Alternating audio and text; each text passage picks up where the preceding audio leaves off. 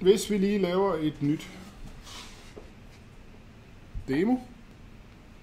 Oj, det var ikke den, jeg ville Jo, vi kan godt lave den her. Jeg øh, kom lige i tanke om i dag, at jeg har glemt at vise jer øh, en af de her ting, man kan lave, når man går ind i editor. Nu skal jeg lige huske, jo. Hvis vi går herop af, så har jeg mulighed for at lave et script, som vi har gennemgået tidligere. Vi har ikke gennemgået den, der hedder live script. Øh, det er også, hvad skal man sige, en postgang for sent, fordi det, det egentlig er beregnet til, det er, at de kan lave nogle dokumentationer af koden ret nemt, fordi man kan skrive rapportstrukturer og få billeder ind og alt muligt andet, så det er egentlig det, det er beregnet på, mere end øh, noget andet. Men, men lad mig lige vise det i første omgang her. Så vi kan lave en imread, og vi kan tage det her RISE-billede, som sagt, det ligger i standardstil. Det fede ved den her, det er, at den autofuldfører, hvilket er super nemt. Jeg ved ikke, hvorfor de ikke har monteret det på tværs af alt i MATLAB, men det har de altså ikke. Så det, det er fedt ved den. Så vi læste et billede, så lad os prøve at lave et øh, thresh, som bruger den her øh, gray thresh af vores billede.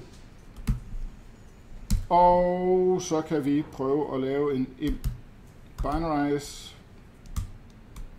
af vores billede, og vi kan gøre det med vores fris. Tror jeg.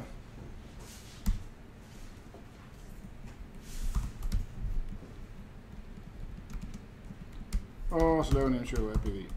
Sådan. Nu er det muligt, at den her den fucker op. Det gjorde den ikke til synligheden. Nu kommer den lige lidt, og der kommer så billedet. Så det var det, jeg lige viste før, og så har vi bare indlæst et billede. Vi har øh, lavet en automatisk threshold, I kan se herovre, den blev sat til omkring 0,51. øh, og vis billedet. Lad os prøve lige at øh, lave vores egen threshold i stedet. Så vi bare siger, at thresh er lige med 0,4 for eksempel.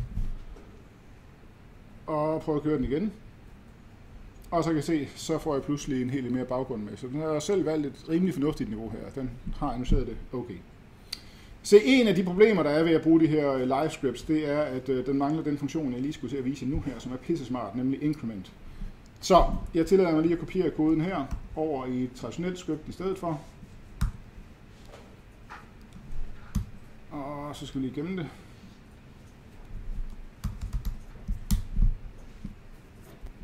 Okay. Se, hvis jeg lige kører den her, så får jeg nok det samme som før. Øh, vi kan lige dokke den her, så vi har den liggende herover. Når man har et helt traditionelt script osv., så er muligheden for, at man simpelthen højreklikker på en eller anden talværdi, og så kommer der en option frem, der hedder Increment Value and Run Section. Man får muligheder for at lave minus, plus, division og multiplikation efter egne valg. Man sætter bare et eller andet herinde af. Så lad os sætte den til 1, 0,1 i første omgang, og så kan jeg lave plus 1. Det, der er smart, det er, at den kører en sektion. Nu har jeg ikke lavet sektioner her, så den kører bare helt scriptet. Men hvis I havde sektioner, så ville I kunne gøre det hver for sig. Så det her det er en super nem måde at ligesom få en segmentering til at ske live på. Og det, der så sker, når man trykker plus, det er sådan bare, at den opdaterer talværdien og kører hele lortet igen. Så hey, har jeg ramt rigtigt med 0,4? Nej, det havde jeg ikke. Var det bedre end 0,5? Ja. 0,6, så sker der, hvis vi går op og går op og op. Og igen, jeg kan bare ændre på værdien herinde og sige, hey, lad os prøve at lave den lidt mere fintunet, og så kører den egentlig bare lige så stille og roligt opad. Og så er det forholdsvis hurtigt trods alt at få og se, hvornår vi rammer en god værdi. Så igen, man skal bare højreklikke på en eller anden talværdi i øh, et script og sige increment value run section, og så får I det her lille panel frem, hvor I kan justere værdier ret hurtigt og se, hvad det er, der fitter jeres situation godt. Øh, ja, så er der image segmenter af dem. Se op under apps opad, og nede under øh, Image Processing Computer Vision, der har vi øh, Image Segmenter, toolboxen og den ser sådan her ud. Så vi kan sige loaded image. Øh, ja, nu skal jeg så lige finde et. Det må ligge et herinde.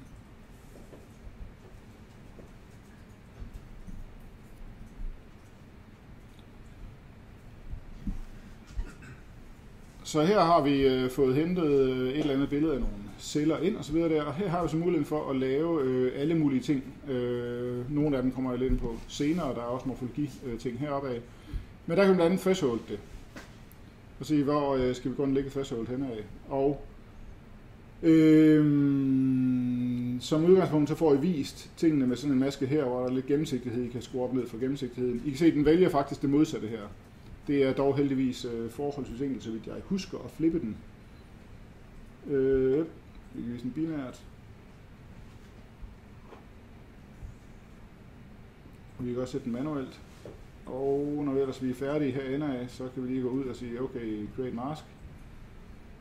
Og så er der mulighed for at invitere den. Man skal lige huske, og det vil også komme til at ramme jer på et eller andet tidspunkt, når I skal segmentere, at det er det, der er hvidt, I får ud. Altså, det er enkelt at flippe den. Og i virkeligheden, hvis I gør det i MATLAB, så er det bare øh, tilte jeres BV, eller jeres sorte maske. Så hvis I bare, så flipper I den, så der hvor den er 0, så er den 1, og der hvor den er 1, der er 0. Så herreste Gud, det er ikke svært. I får bare nogle underlige resultater, hvis I regner med, at I får noget ud, hvor det er hvidt i baggrunden og sort inde i cellerne, fordi så er det faktisk det modsatte, I annoncerer på. Så det skal I lige huske at orientere omkring. Det var det automatiske, og der er som sagt masser af andre herinde af, dem kommer vi til lidt senere. Vi kan lige allerede nu tage Clear Borders. Øhm, sådan der, og så ryger de alle dem, der har kontakt med grænseplanen, det var det, jeg viste lige før. Som altid i det her værktøj, så har jeg mulighed for bare at sige eksport, så får jeg bare masken, men I kan også gå herned og sige, hey, jeg vil gerne have en funktion.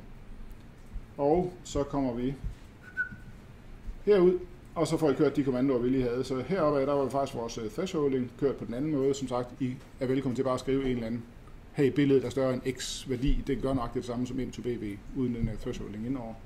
Øhm, ja. I kan lave den af not, altså i virkeligheden, så ville der også her kunne stå, øhm, skal jeg tænke mig om, hvor den er henne? I det der. Altså de to her, de gør det samme, så in complement BV og not BV, de vender. Begge to masken. Så. Potato, potato. Og så er der en aim clear border, det er så den, der fjerner alle dem, der har kontakt med grænsefladen.